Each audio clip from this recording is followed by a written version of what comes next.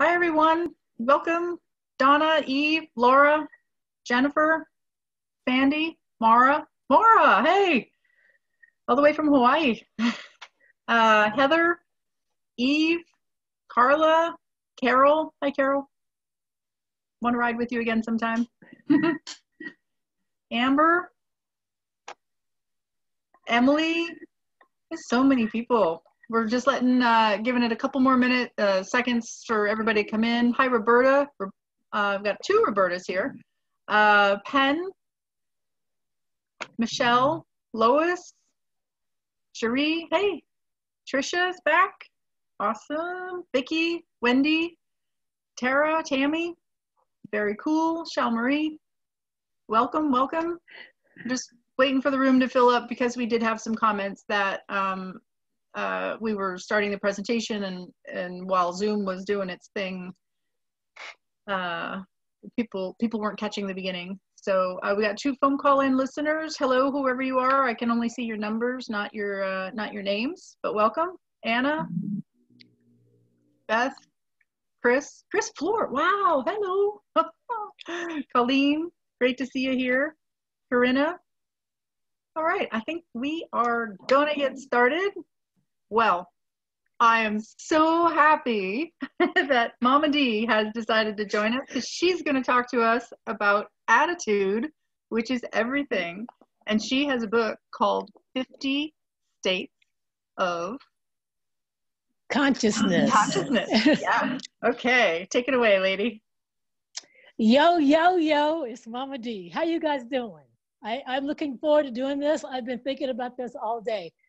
Uh, I've been watching a few of the other speakers, and I know we've all been crying all week and I all weekend. So I want to try to add a little fun to this, educate you, but have some fun.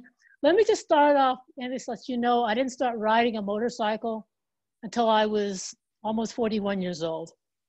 And I was living in New Jersey and went to take my written test, which I didn't know what I was doing. Of course, I failed it, and the little girls laughed at me, but that's okay because the thing is, it's like when they laughed at me, all they did was just spurred me on to be able to come back and do better, which I did. I came back and scored 100%.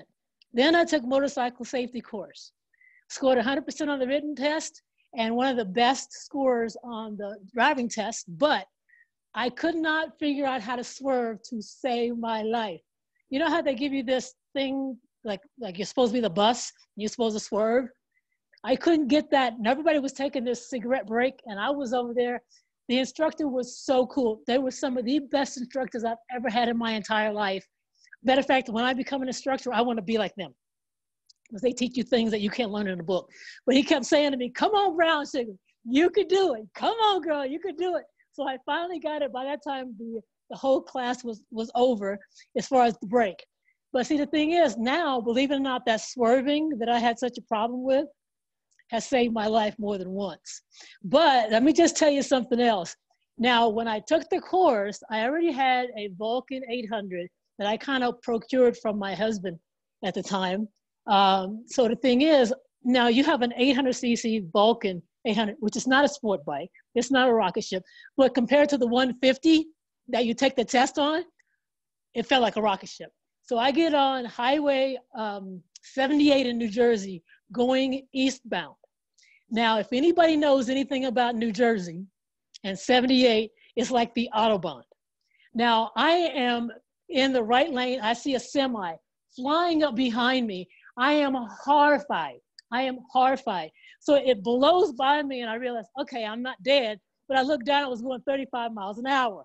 So, so if you can, now you know everybody was going 90 and I was going 35, so that's why. But I want to let everybody know that, see, you have to overcome those firsts. Every time you do something first, it makes it a little bit easier the next time. So that's what I want to show people. That's why even when I when I packed my motorcycle on my 50 state ride, and I have this all the, on the back of my motorcycle. Reason why I wanted that picture, other, other than the fact that this is just a badass shot, uh, is to show people I didn't know what I was doing when I did this ride. It was back in 2006. I wasn't really, I hadn't done anything with other women. I didn't even know there was other women writers. I just been doing everything by myself. And then once I um, started writing, I was learning. Everything was learning. Matter of fact, a few months after I started writing, it was two o'clock in the afternoon, a bright sunny day, and I see a woman at a stop sign. I have my purple jacket on with my little Vulcan 800 going 40 miles an hour. And as soon as I get right in front of her, she pulls out and blasts me. She blasts me. I go 120 feet, skidded my Shoei helmet down to the styrofoam, and my little foot was right in the middle of the bumper and the motorcycle, which was a crease of the motorcycle, the bumper down the side of my motorcycle. So uh, I got thrown. I'm in the road. I realize I'm in New Jersey. I better get out of the road because I don't want to get hit again. So they find me with my foot elevated up in the air, and they put me in the ambulance. And I'm they also they're in we're in the ambulance. Now you know um, they need to cut your stuff off. I had just gotten that jacket, and it was like a thousand dollars. And I said, if you cut this jacket off, it's gonna get ugly up in here. Now think about it. I got hit by a car, and I'm talking to these people, and they said, well, she looks healthy. They put the BP cuff around my jacket and said 110 over 70. That's not good. I said, yes, about right. But they didn't strap my foot down. My foot is destroyed. My heel's broken off.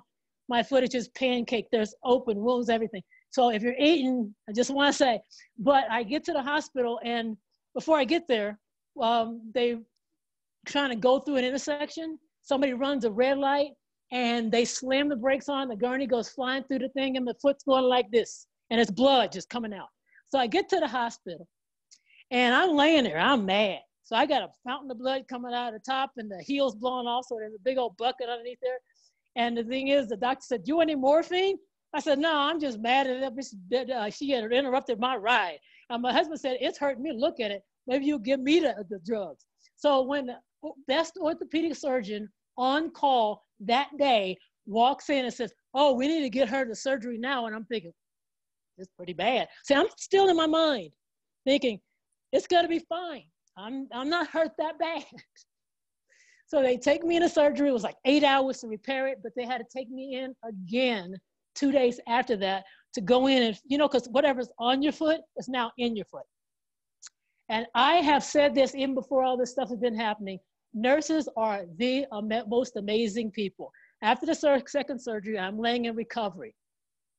I forget that when you have surgery, uh, all your everything lets go of your body. So I'm laying there like, oh man. So I'm like horrified. I'm thinking, excuse me to the nurses, excuse me, I think we have a problem. So the nurse comes over, she lifts up the cover, she points and she says, You gotta come over here and look at this. I'm like, no. She said, Look, she has no fat on her thighs. I'm like, You gotta love nurses. I laying there in my own mess and she's talking about my thighs. So the thing is, but after that, I'm laying in the bed because I I knew that well for one thing too is I've been um, hearing a lot of things about you know after an accident if you're to ride again. See, I have found, and this is just not not then I didn't find it out then, but if you're focusing on the ride and not healing, then you it's counterproductive. So first of all, you worry about healing not just your body but your mind and get that right because what I did is I'm laying in the hospital and everybody said, So you're going to ride again? I said, I just want to walk. And I want to walk without a limp. So I had finally, I got, got sent home because I was in a room with an insomniac. I told the doctor, if you don't get me out of here, I'm a killer. So they said, if you could walk upstairs with crutches, you can go home. So I'm just, so I'm only in the hospital for eight days. They had to send a nurse to the house to show my husband how to clean the wounds and everything. But I didn't care. My job was now to just get better. I had my own personal training business. I drove um, 300 miles a day in my little geo tracker from homes and offices all over the tri-state area. So I knew if I didn't work, I didn't get paid. But I was working nonstop, and all of a sudden, I was I made my kitchen chair out of like a, a chair I could wheel around, and all of a sudden, a warm feeling came over me, and I said, I can't wait to ride again. So I went to the motorcycle shop and they think I'm absolutely crazy because they heard what happened to me. So I get a, um, a I think it was a, a Yamaha 650 because it was something I can balance. So what I did is I got that motorcycle, went out, and poor thing blew the motor on her, and because I put 15,000 miles on her in like five weeks, and a 650 wasn't meant to do the kind of miles I was doing. So then that's when I got the, the Valkyrie. And matter of fact, the motorcycle instructor was there that day when I got her because he had a Valkyrie when I had the course, took the course. And he said, that's a real motorcycle. And then after that, because after this accident, see, I kept saying, what if I would have taken another route? What if I'd have left a little later? I'm getting chills right now. It was supposed to happen. It's not why, it's what are you going to learn? Are you going to be a victim? Are you going to be a victor? That's the whole thing. Is and the thing is, it's not easy to do. So everything that I'm talking to you about, it's been stuff that I learned, and I still struggle with some things once in a while. But the thing is, because if it's not just automatic, if you're wired a certain way, it's hard to change how you're wired. You just have to constantly talk to yourself and you have to pray. Matter of fact, speaking of that, right after all this stuff happened, I came to the realization if you're praying and you're worrying, you're defeating the whole purpose of the prayer. So, in other words, if you're praying, let it go. My saying is let it go, let it flow, face it with grace and faith. I say that three times and I relax. So, in other words, if you're worrying about it, you're, you're not really believing in what you just prayed for. I don't pray for me. I pray to give me the strength to handle whatever I have coming my way today. That's what I do. So when I go around the country and I do things and I talk about my this journey on in this book, it was pretty intense. I mean, it was 169 days. I camped 100 days. I survived a tornado in a tent in southern Wisconsin. Every weather condition, road condition you can possibly imagine. But see, the thing is, what's cool about this now, because a lot of people treated me very, very badly. That's another thing, too, ladies and gentlemen, if you were who's ever out there watching. When someone's treating you bad, it's not you. It's their insecurities, it's their problem that they're projecting on you. So I'm out there doing this big thing, trying to raise money for charity, which no one will believe me because I told them I was raising money in honor of my parents who died of heart disease and a young family friend who's uh, su- surviving brain cancer. They thought I was panhandling. They were actually thought I was panhandling. So I'm thinking, you know what? The money's not meant to be, but I'm not gonna stop. So every time now it's hard to do when someone's coming at you because each one of us has had somebody in our life to do that to us. But you have to think that if you're doing something and you're on a mission, if they're coming at you, think about it. It's not you, it's what they are thinking and projecting on you. That's hard to do in the moment because somebody told me that when I was out there on my 50 state ride and I wasn't in the mood to hear that. I was like, yeah, that sounds good, but you're not doing this. But see, now I look back on it, but everything that I've done is accumulative. So I just I just turned 62 years old. And if somebody gives me a hard time now, say, give me, tell me something I haven't heard already before. I grew up in the height of the civil rights movement in Oklahoma, where we were still segregated. So go ahead, make my day, because I'm okay, because you're not gonna stop me. That's the whole key about life is when you are doing something good, you're always going to have somebody to try to bring you down. But it's up to you to say, oh no, that's not going to happen. And you don't even have to say anything. It's just your actions. You just keep going and keep doing and keep doing. And uh, the thing is, I had a lot of hardships out there, but there was some lot of funny stuff out there too. Matter of fact, uh, I just I, I, even write about this in the book that uh, I was you know how when you're riding a motorcycle, you want to be efficient, you want to get gas, you want to pee, you want to take your snack, whatever, and you want to go. I had just done that, right? So I had just done that. I had just, and all of a sudden I'm riding and I get this wave, and I'm like, uh oh, I gotta go to the bathroom. So I find the next gas station. I'm doing a duck walk into the gas station. Now, picture this. I, I go into the stall and I look underneath the stall and I see these two little conservative shoes. And I'm thinking, oh, this is going this is gonna be fun. So what I did is I let go. A matter of fact, even in the book, I said I you would I would make an NFL lineman proud. So I'm doing. I mean, I'm just hey, I gotta go. I'm just did my thing, and all of a sudden, look, the, her little feet. You know the uh, those Irish dancers. They didn't have nothing on her. She was just going to town, and all of a sudden, that woman gets up, bolts out of the bathroom, and don't even wash her hands. So I'm just gonna tell her if if this woman, if anybody knows about this woman, just let her know. Wash your hands, and yeah, that was me. But like I said, everything happens for a reason. Everything happens for a reason. But the thing is, even when you're out on the road, people always ask me, Do I carry a gun? I said, My best weapon is right here. Because I just don't feel like I just, I mean, I've been over half a million miles. And but my, like I said, my best weapon is right here. It's about being aware. I work with a lot of military. I work with a lot of guys, police officers all these different people, and it's how you carry yourself. And the fact is, you're also aware of your surroundings. You're not walking around like this, but you're aware of your surroundings. So the thing is, take your head up off that phone because now you're a victim. So what you got to do is carry yourself like this is my world. I belong here too. That's the key to all. Everything out there is how you present yourself because I mean, I like I just this is just off the cuff. This is another trip I was on. I went through seven thunderstorms in Wyoming. Now, of course, that's what you do. I stopped to get gas, go into place, and this guy comes out and he says, "You getting wet?" Now I, all I did was now he's gone. I'm inside the gas station. You gotta imagine this black woman knives everywhere. And I'm like, you inbred. I'm just screaming. And I, and I catch myself and I look around. I'm thinking, everybody was like this. They could not get away from me quick enough. But see, the thing is, it's like I had a laugh because I'm thinking, what a sight that must have been. This crazy black woman going crazy. But see, the thing is, it's like sometimes you just got to let it go. You got to let it blow. And that's what I do once in a while. But like I said, on this trip, See, I did, I actually did 50 states on two different motorcycles. This one was one for a mission. The second one was because I just wanted to prove something to myself that I could do it.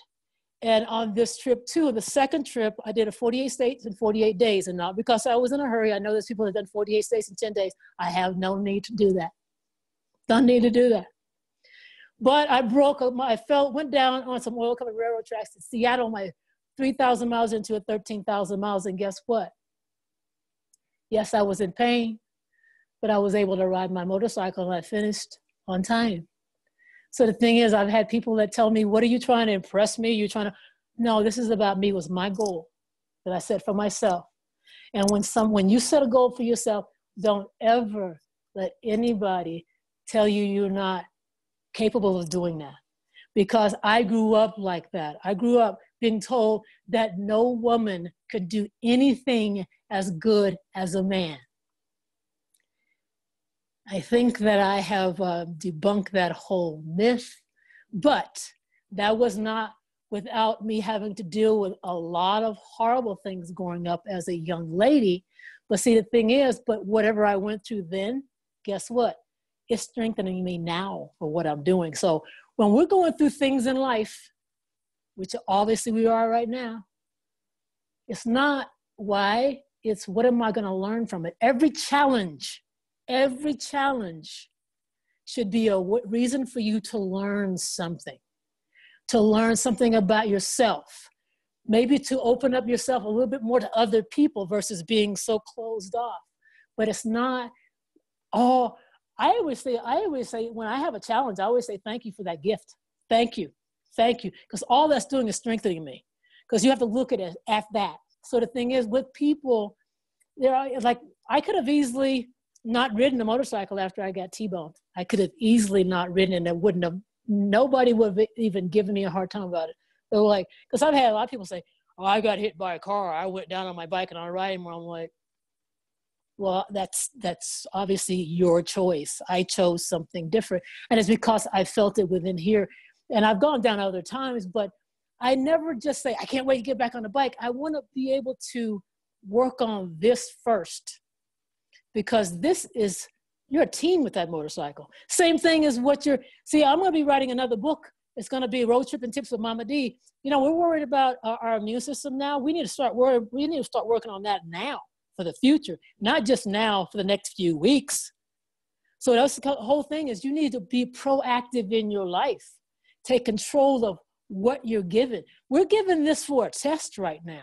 People just went crazy. Can I tell you something? Now, if you need a hundred rolls of toilet paper, you sick. You need to go to the doctor. I'm just saying. I'm just saying. You need to realize that it's more. It's it's a little bit different than just. I don't know who even started that, but uh, the thing is, it's like we have to stop and really pull together more. And I think that just me doing this, I can feel the energy out there. I've been watching. I've been sitting in on on you guys and it's just awesome what you've done. And to give me the opportunity to go and, and spend time with people wherever i can anymore. Because my mission in life now is to make a difference through my experiences all over the world and make people realize that you are your best advocate. And the people that are around you that support you are priceless because it could be gone like that. And we're not talking about just a motorcycle accident or whatever. That's why I've always said every single time I left somebody, I do miss my hugs though, because I'm a hugger. If anybody knows, I wrap my legs around you. I'm a hugger. I miss that. But I always tell people I love them because you never know when that's going to be the last time you see them. Actually, matter of fact, on my 50 state ride, I I wrote my last words. And the reason why I did that, not to be morbid, but what I did that for was to let people know that if for some reason I didn't make it home, to let them know that I love them. And so we need, i I'm not afraid to tell somebody I love them. I don't care if I just met them and we just, we hit it off. I don't care. It's about the fact that we got to connect as human beings because we're all in this together.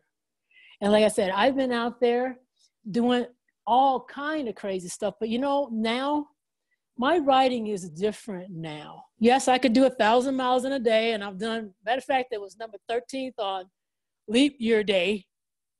That's some crazy stuff right there.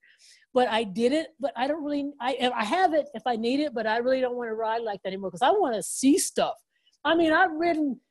I was living in Jersey when I first got that Valkyrie, and I was riding 3,000 miles in three and a half days, and I was like, Arr! reason why I was doing that was because I knew that I was alive and I was trying to live every minute, every second I could. And I didn't see a lot of stuff because I did that.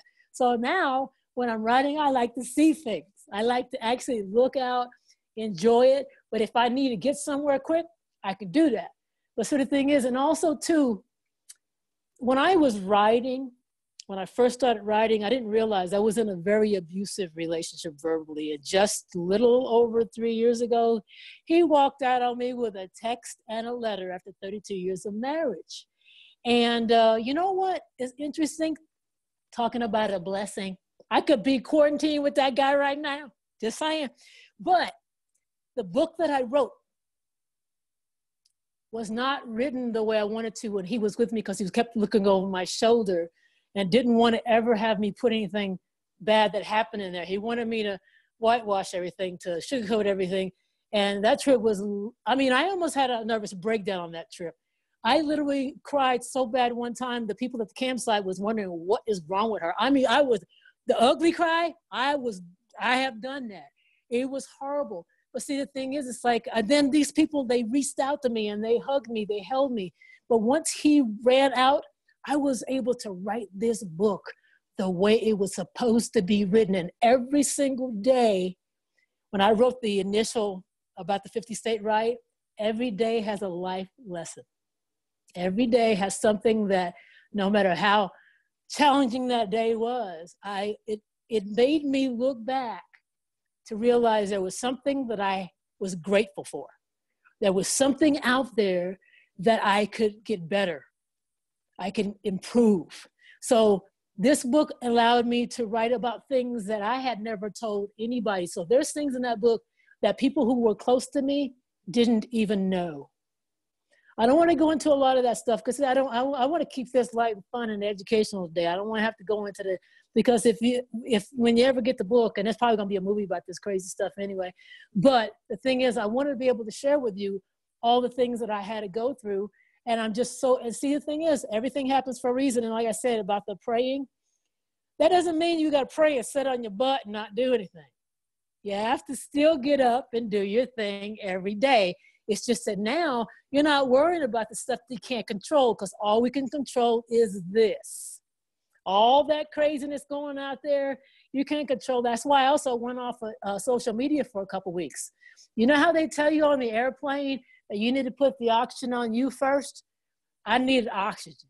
I needed to take care of me and heal me, take care of myself before I could. Because when I post something, I won't post it if it's not real. If it, I won't just post it just because I think I need to put something up there. No, if I don't feel it, I'm not putting it up there. So I didn't feel that I wanted to put anything out there until I felt okay with who I was and made myself realize, girl, you're gonna be okay. Yes, you're sitting in this apartment, but I have a cute little cat. Her name is the Queen. And I'm thankful to have people in my life who have checked out. Of before I finished, what's interesting is I dropped off the radar so bad. I wasn't answering the phone. I turned everything off and uh, didn't realize my son from Oklahoma had been messaging me. And so all of a sudden, I'm sleeping on the couch with the cat, and I hear bang, bang, bang, bang, bang. And I'm like, what? The? And I jump up and look through the peephole.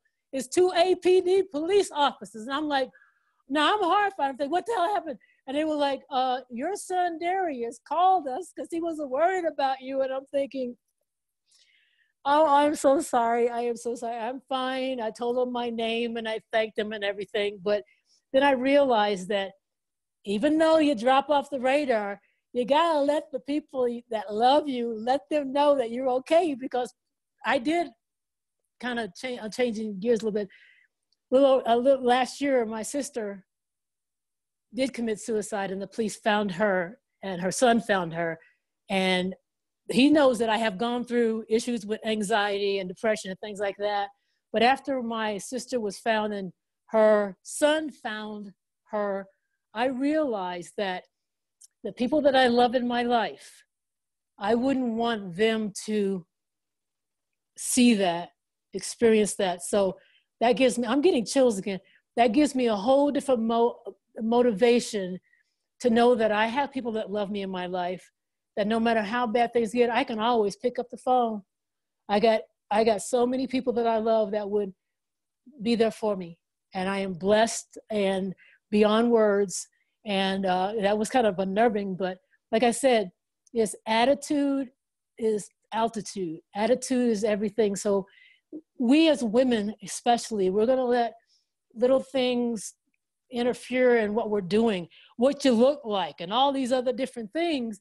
And it's like people always say to me because when I go out there and I'm camping or something, and I don't, especially if I'm up on the Yukon territory, and I ain't gonna take a bath because for one thing too, you want to get a little funky up there because if you smell like deodorant, guess what?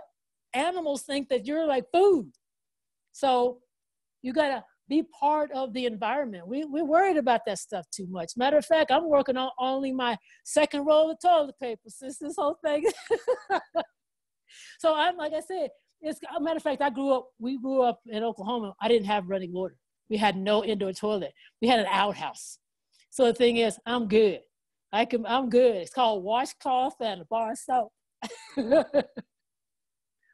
so like I said, when you go out there, especially as women, we're always being, especially if you're on a motorcycle.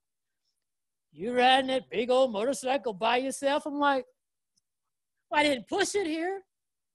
But we have to, and, and the thing is, what's cool about it, we have deserve, we deserve to be in any place we want to be. We've earned a place in this world. We're going to get out there. And that's why my, my whole thing is to keep shining, baby because oh and i also am going to write a series of children's books to talk about a lot of things because i was locked in the closet as a kid i want to write a, a children's book and it's going to be this picture of this little four-year-old little colored girl nappy head looking out of the closet and it's going to be the adventures of Mita Jo, how she overcame her fear of the dark, because I was afraid of the dark well into my 50s because of that. but I want to show her shining at the very end. I'm to show her a little motorcycle and she's to be standing on it. She's to be shining. So it's always to take this little girl and everybody who reads it on this journey of how you can overcome this. And how many people have I come across on the road that say to me, because I'll say, I'm to write this, this book about a little kid, you know, being afraid of the dark. And they'll say, you know, both my kids are scared of the dark. I mean, right, and we're talking about seven or eight year old kids, maybe even a little bit older. So there's always, um, like I said, all the things that happened to me wouldn't change it for the world. All it did was make me who I am. And so now when I'm doing this, I ride to enjoy, of course, but I'm just as happy right here as I am when I'm riding now. And that took 62 years. So, in other words, find your peace wherever you are. And sometimes that peace is not, you're not ready for it yet, but that's okay because I wasn't ready for it yet. When I was doing all those miles, that was the only time I was happy because I was didn't realize how badly I was getting abused at home. So me riding like that was my the only time I felt good was when I was in the saddle. Not when I got off the bike, because that's what people thought would give me a hard time. When I was in that saddle. But now I've gotten to the point now, like I said, if I'm not on the road doing something, people always said, uh, I've been not riding. I'm like, no, I'm good. I just came back from a, an event or a trip or whatever. No, I'm good. I'm cool to chill for a few days. I don't have to be gone all the time because I'm okay wherever I am. And that's such a good feeling. As a matter of fact, when I'm talking about it right now, my stomach feels really nice and warm. That's always a good sign. So what we want, what we want to do is we want to find happiness everywhere. And yeah, that bike's always going to be there as far as that that thing that's going to get you rocking and rolling. And it always takes away, you sit in that saddle, and you know what I'm talking about. Every bit of your troubles, everything, the thoughts go away. Another thing, too, is what I learned is if you work on just standing on one foot, working on your balance and focusing on that, centering yourself, you block everything out. So get something that you can focus on. Like I said, I always say this, and I started saying this just a, a little over a year ago about let it go and, and really just say it over and over again, usually three times, gets it. Let it go, let it flow, face it with grace and faith. Let it go, let it flow, face it with grace and faith. Let it go, let it flow, face it with grace and faith. And don't ever doubt yourself. We don't want to go to our grave with regrets. We got this time on this planet. We're going to own it, ladies and gentlemen. We're going to own it. Okay? We're going to do the best we can with what we have. We're going to keep working on those different things because sometimes I have to self talk myself. I will get into that. I will feel the anxiety coming on feel it coming on. And I have to talk to myself, no, no, no, no, no, stop, stop. So it's not like it's just gonna go away. And if somebody ever tells you, oh, it's easy, well, when you're doing something good, sometimes you just making it look easy. It's not easy. It's just a we're work we're a work in progress. I deal with things better, but it still seeps in. Some days I wake up and I have to self-talk and I and just keep focused that you're gonna be fine and believe it or not, there's a lot of good things coming in the future that I can't wait to tell you guys, but I want to just kind of keep it under wraps for a little bit. But I just want to say thank you for everything. Uh, like I said, don't go to your grave with regrets. Let it go, let it flow. Face of the grace and faith. And keep shining, baby. Love you all. You're so awesome. Thank you. There's so many nuggets when you talk. It's really amazing. I, I, it's a good thing I'm a fast typer because I was putting them, I put some of those nuggets in the chat for people to copy if they if if they wanted to. And uh, we had uh, several. Well, we've got more questions popping up. Fantastic. Keep putting them in the Q and A. And uh, top of everyone's mind is where can they buy Momma D's book? The www mommadsmagic.com. So it's M O M M A D S magic.com. And I'm all, believe it or not, you can get my book, but if anybody's been seeing that I sell my Momma D's magic bars, I am now shipping those. You can get those both on my website, the same place. I'm shipping those anywhere in the country for only $40. Both. Only, only $40. So when the book, book will be by itself, but a portion right now, a portion of every book sale will go to domestic violence. Because I want to use what I'm doing, my platform. Speaking of that, this bottle right here that has my logo on it, um, when I do events here locally, it's got my logo, my Adventures of Momma D, um, that anytime the, the bottles are sold, it's one for six and two for 10, 100% of the proceeds go to domestic violence. So they can get my book on the website, and if you want to uh, just check Momma D's Magic Bars, I can send you both. Um, there, there was a lot of talk about that in the chat. And so what I said was I, I, finalized the presenter PDF a couple of days ago, but because so much juicy stuff is coming up in the presentations and uh, you know people want more resources from the presenters that will add that to the the PDF and I'll send it out on Wednesday with the recordings. Um, so uh, Marjorie wants to know what year did you do your ride? 2006 back in 2006. It seems like a lifetime ago. But when I look back on it, I mean, even when I read my own book, I, I'm literally, I can't wait to turn the page and I did it. Because it's one of those kind of things that it was one, when you think it was okay to come out, something else happened. It was back in 2006. Okay. Syl says, we love you, Momma D, which we do. I love you guys too. Love you, love you. Um, Joyce wants to know if she can get your book in Canada. Uh, right now, I'm just doing the U.S. Um, I don't know how much it's going to cost to ship because right now, if it's in the U.S., it's free shipping. So yeah. I'm not sure how much it's going to cost. I could check. I can check and see yeah. what it would cost to ship it to Canada. I'm not sure. I can save you all a lot of hassle because I've I used to ship books to Canada, and then they started getting lost. There's no way to track them unless you pay through the through the nose, and then it's just gone and nobody's got it, and it's just it's a heartache for everybody. So I mean, you, you can do your research if you want, but that's that's been my experience. So um, what I would suggest, Joyce, is get a friend in the U.S. who's going to come and visit you, or or yeah. or maybe when you pop over the border or something. Uh, that would make it easier on everybody because it's a nightmare to ship books, and hers is a big, uh, you know, a, a large, a heavy one too. We're in Canada. Uh, yeah because I'm coming. I'm going to be coming back through Canada. You never know. Okay. Um, you know what I'm going to suggest is Joyce. Why don't you write Momma D on the website? She, uh, her social media handles Perfect. are on the presenter page, so you can contact her there about uh, about purchasing the book. Um, Perfect. I'm writing up there. Okay, great. Sherry Lynn, uh, I don't understand your message, so if you could send another one in, that would be great. Um, Trisha Zaleski wants to, I'm practicing pronouncing her name correctly. Sorry, Trisha, but I think I got it this time. Uh, Trisha wants to know when and where we can ride with you.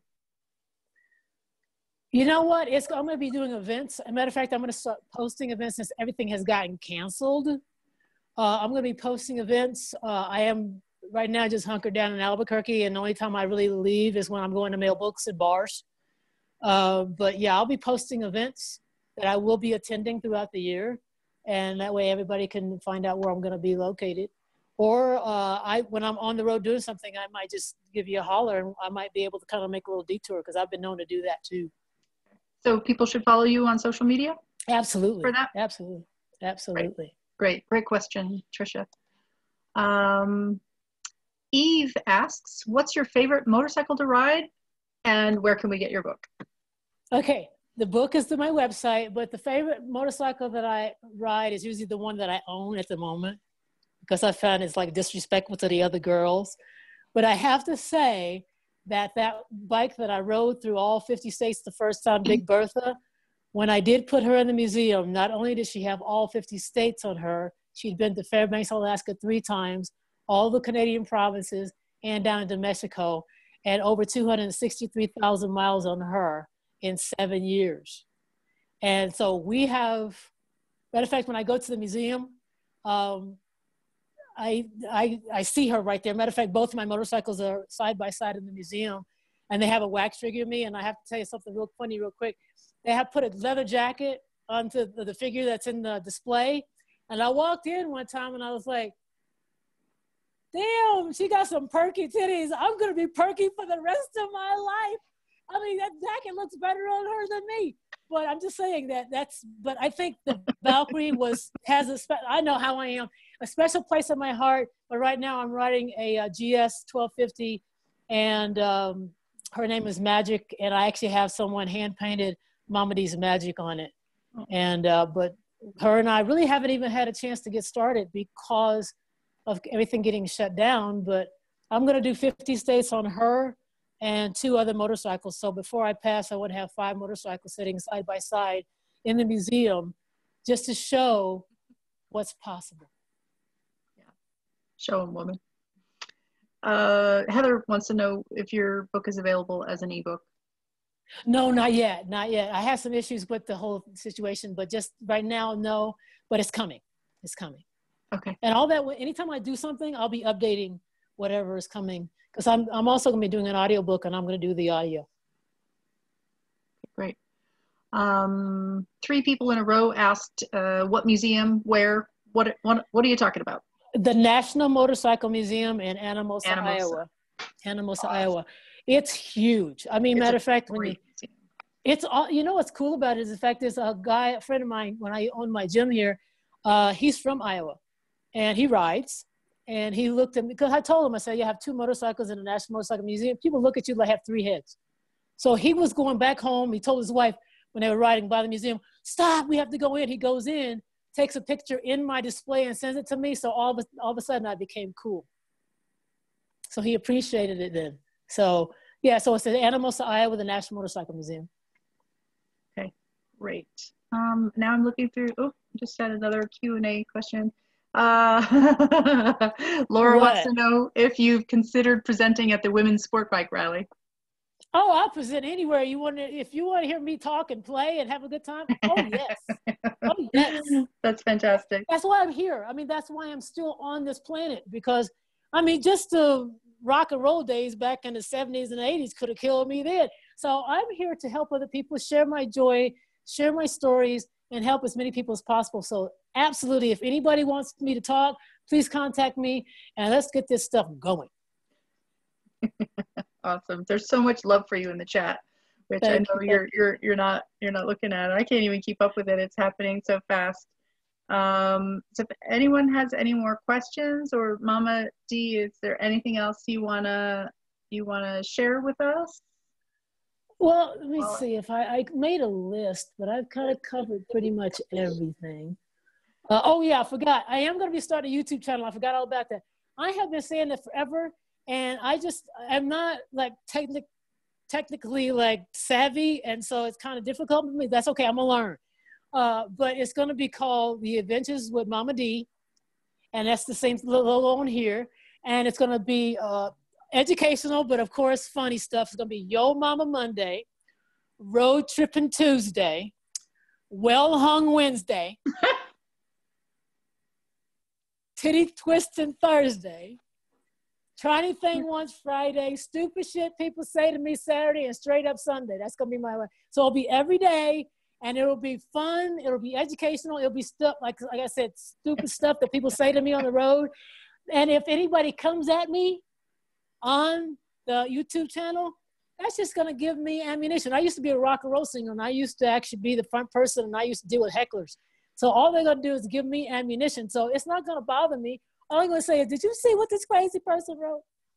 I'm just to use it again. You can't, you're not going to beat me when I'm doing this. I'm doing this because you know how you got people that are always trying to hate on you about something? They ain't doing anything. They're sitting on their asses just like they're yeah. hating. So I don't even pay attention to that stuff. So go ahead and give me some, I'll just use that against you and make everybody laugh at you. That's what I used to do when I sang. I used to make the heckler, the audience, I'd involve him. And matter of fact, one quick there before I go. Okay, I was singing in the band, and this guy kept yelling out the same song he wanted to hear. Now, if you played the same song more than once, you had to buy, you had to, you know, pay the band a tip. So I got off the stage because they wouldn't give me a cordless microphone because I would end up in the parking lot. So they just gave me one with a really long cord. So I walked over to him, put my arm around him. Now I have the microphone like this, and I said, Excuse me, but we played that song more times than I can count. So either you can buy the whole bar of drink, or you see that 300 pound bouncer over there? He can have his way with you. After that, we didn't have any more problem with him. He ended up buying the round of drinks for the band. And that's what I do. I make, I don't go back at someone with hate. I turn it around on them and make them, make everybody realize just how stupid they sound and look. That's how you do it. You don't go with, you don't go at anger with anger. That doesn't work. That just that doesn't diffuse anything. It just escalates, and we don't do that. So we have five more minutes, and I have three questions. Uh, Joanne wants to know if you've ever owned any sport bikes. No, but I've ridden. Um, uh, was it um, what is it? Uh, Superhawk. I've ridden one, but I also used to sell bikes. So I've ridden so many different bikes. I've ridden BMWs, I've ridden sport bikes, I've ridden a CBR 600 RR, uh, I've ridden um, a KLR. Uh, we used to have to move bikes in and out. So, and also too, if somebody did a test ride, you would pick a motorcycle to go out with them. So I've ridden so many different kind of bikes. I've ridden um, because I was the, I ended up being the uh, top salesperson when walking in. And when I sold, I went into, I want to do something different when I moved to New Mexico. Now, the motorcycle that I own, Big Bertha, had six carburetors. I didn't even know what a carburetor was. That's how naive I was. So I took owner's manuals to every single motorcycle. So we had like 600 units that we had in stock. I would take them when it was like, you know, around the wintertime, and I would take a, an owner's manual and study each and every motorcycle and figure out carburation, fuel injected, all these different things and the guys, used, they were making fun of the boys that were salesmen would make fun of me because I had no idea what I was doing. I had no idea. I had nobody to help me with this stuff. I just had to figure it out myself. So before you know it, and I was the only person that worked there that owned my own bike anyway. And I was the only one that had ridden BMWs, and I ended up being the top BMW salesperson too. Gee, I wonder why. well, I also told I also told him I said I have twelve kids to feed and I need to make some money. well, Sherry Sherry Lynn says you need a podcast, which is awesome that you're that that you're you've got the the YouTube channel coming. That's great. Oh, it's uh, coming. If you name it, you know, before uh, Wednesday, I'll get it in that PDF I've been promising everybody. Perfect, perfect, perfect. I'm crying um, here, and not not from sadness. It's just that that's how I am. You're fun. Uh, and Liz uh, gave us the perfect closing question, which is How did you get to be Momma D? Oh, I love that. I love that. See, I'm going to have to go back a little while because when I um, had my son, uh, I was 18 and I brought him home. My mother wanted another son, so she took him out of my arms. And I wasn't able to raise my son as my own. And uh, so I never knew if I had what it took to be a mama. So several years ago, I started training professional fighters. Uh, the first guy that I, the young man that I started training, he started calling me mama. And everybody starts calling me mama. And then Diego Sanchez, another UFC fighter, starts calling me Momma D. And why that really warms my heart is because the name Momma D means something to me. It means that I earned mm-hmm. that title. I earned the respect from all these young men, the coaches. When I walk into a fight, it's Momma D, Momma D. That's earned. And I do know, I'm getting chills again. I do know what it takes to be a mama. And recently, me and my son have been very close, and we're actually going to be going into business together. And uh, and from a distance, he's been watching and learning from me, and he's and that makes me feel really good that what all my actions have spoken so much louder than any of my words. And uh, that's why now I proudly uh, use that name, Momma D. That's awesome. We love you. There's so much love for you in the chat. I wish I, I, I wish we could uh, I'm going to give you this because there's so much love for you in the chat. Thank you so much for being with us. You are the perfect person to conclude our amazing two days of amazing ladies. Thank you so much. And I want to thank everybody who is here in attendance, listening, uh, we so appreciate your your support. We didn't know what to expect when we threw this out to the universe. We were just throwing ideas at a wall and got on the email. And thank goodness you answered your email because you were in the middle of that. Um, that's it. Your social social media pause. So thanks thanks for checking your email. Heard back and and we saw we thought wow wow we've got a thing. Okay let's let, let's make this thing. So thank you all for joining us for the first ever having the faith that we could that we could pull it off and uh, and being here with us in this glorious ride with these wonderful ladies. Thank you so very much. And um, for those of you that are listening um, Momma D are you going to be able to come to the networking session next uh, later this, and yeah, I could do that. Yeah, I'll do that. yeah okay, okay. Starting in about 10 minutes, we're going to have the connection session. And great, because uh, that'll be another place for all of us to connect. Last night, uh, we were still going strong an hour and a half in, and I finally, I finally called it because it's been, we've been working around the clock for two weeks, and I didn't want people to see me yawning. So, all of you, I hope you can make it for our networking session. And if you can't, that's too bad. But we're now connected on uh, email because as when you registered you uh, for the event, you got on my uh, my email newsletter list, and uh, I might as well tell you now. We're going to make another announcement in the in the the connection session tonight, but we do have our next event planned already, and that is an in-person conference in Arlington, Virginia, at the end of the sister uh, the suffragist centennial motorcycle ride, and uh, that's going to be August 20 through 20, 20 21, 22 uh, in Arlington, and we are going to do a hybrid conference. So that means that if you can't join us in person, you'll be able to join us um, in the same style of format, but we're also going to have everybody uh, live and a whole different theme, a whole different uh, slate of presenters. Uh, hopefully, some of the ladies that we love will come back and join us again, depending on their schedules. But there you go, August 20, 21, 22 in Arlington, Virginia, as part of the Suffragist Centennial Motorcycle Ride. And we can talk more about that in the networking session, but I know everybody wants a break before we join in for that. And just thank you once again from the bottom of my heart. Brittany, show your beautiful face for the end of this. We want to see you too, because you're just so awesome. Thank you for all of your help running things behind the scenes. Um, thanks to uh, the other members of the team, Sarah and Jess, for all you've done running around and supporting us. And um, just can't thank everyone enough. And big Moto Hub, I can't wait to see you in person and gather and do the cool stuff we normally do together. So see you on the road. Bye, everyone. See y'all in a couple minutes.